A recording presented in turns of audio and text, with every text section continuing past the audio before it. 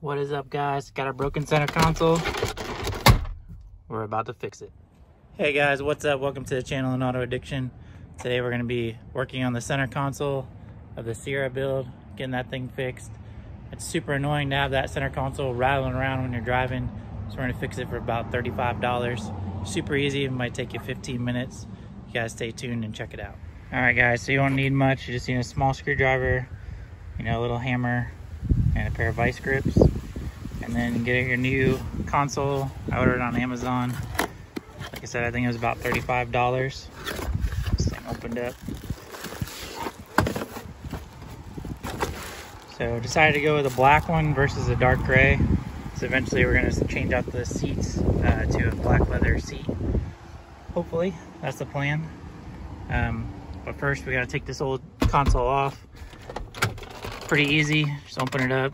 This plastic right here is gonna pop off. Uh, that's what we're gonna use a screwdriver for. Just like that. Don't worry about breaking it, it's already broke. So then what we gotta do is you gotta use a small screwdriver and there's a metal rod that runs along here and push it out in order to take it, take the lid off. So get that done real quick and then uh, go on to the next step.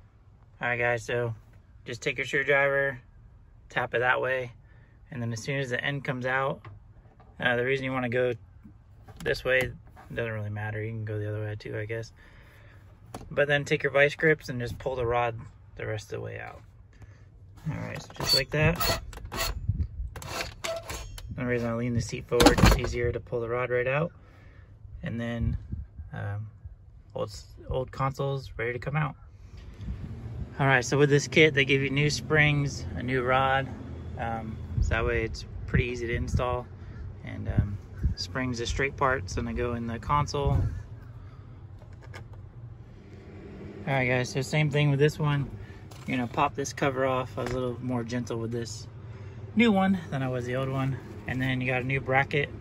So the holes are gonna go more to uh, your right side so when you line your springs up, basically just like this. You're gonna have your springs in the center and then they latch through those holes right there.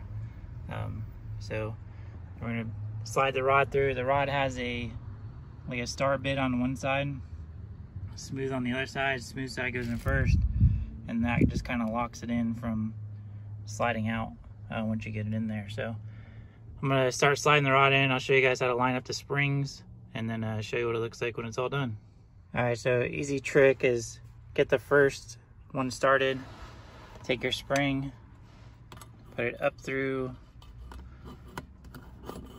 the hole like that, set straight sides down, and it goes right in that hole right there at the bottom, kind of locks it in place.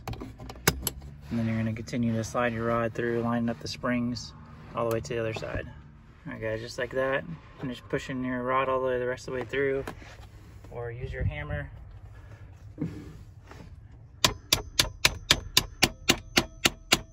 Just tap it all the way in.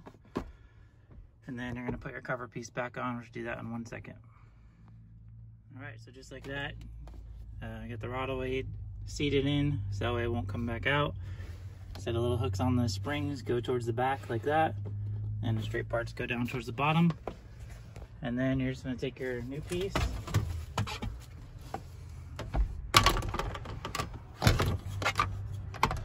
Line it up through the latch.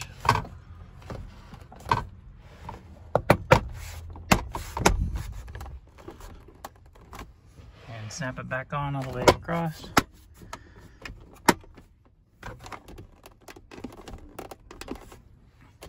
Snap this bottom in real quick. And just like that brand new console. Won't rattle around anymore. Plastic is not broke. And you can get rid of this. So, plastic.